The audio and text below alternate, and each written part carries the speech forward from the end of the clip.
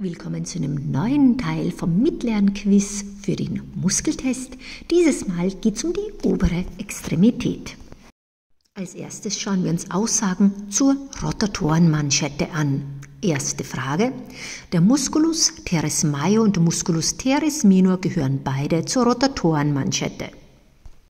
Nächste Aussage. Der Musculus supraspinatus macht eine Außenrotation.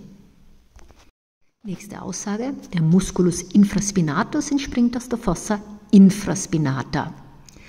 Der Musculus subscapularis entspringt aus der Fossa subscapularis.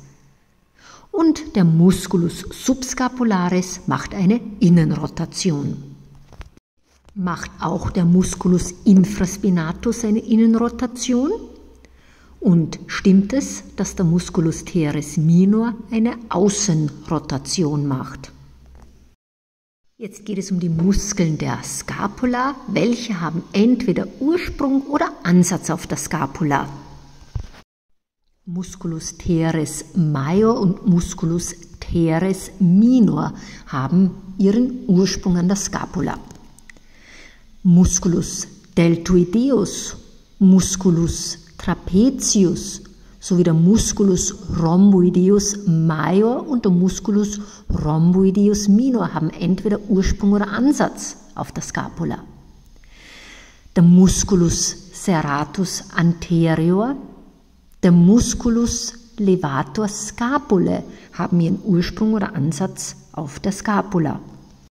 Wie steht es mit dem Musculus scalenus anterior, dem Musculus sternocleidomastoideus und dem Caput longum vom Bizeps femoris? Haben die Ursprung oder Ansatz auf der Scapula?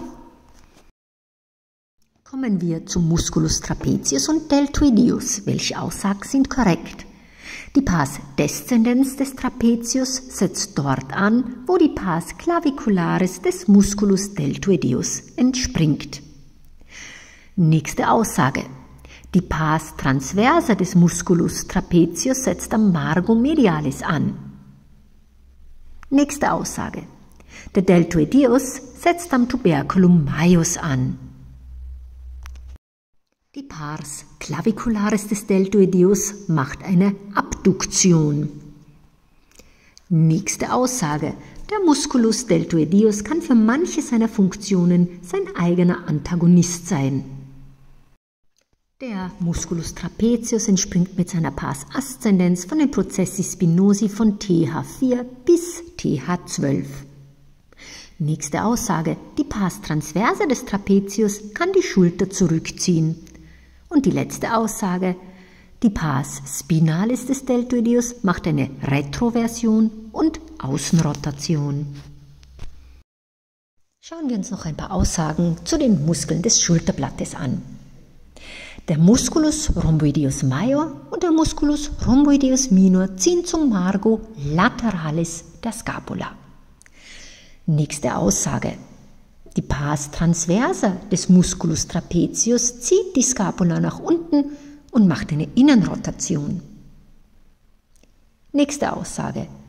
Der Musculus serratus anterior fixiert die Scapula am Thorax und dreht die Scapula eine Voraussetzung für Antiversion und Elevation und er ist auch ein Atemhilfsmuskel. Nächste Aussage. Der Musculus levator scapulae hat seinen Ursprung an den Querfortsätzen 1 bis 4 der Halswirbelsäule. Und der Musculus pectoralis minor setzt am Prozessus coracoideus an. Schauen wir uns doch den flächenhaftesten Muskel des Körpers an, den Latissimus dorsi. Welche Aussagen treffen zu? Ein Ursprung liegt am Ossacrum. Ein weiterer Ursprung liegt an der Fascia thoracolumbalis. Weiters entspringt der Latissimus dorsi auch von der Christa iliaca und der 10. bis 12. Rippe. Stimmt es, dass auch ein Ursprung am Trochanter major liegt?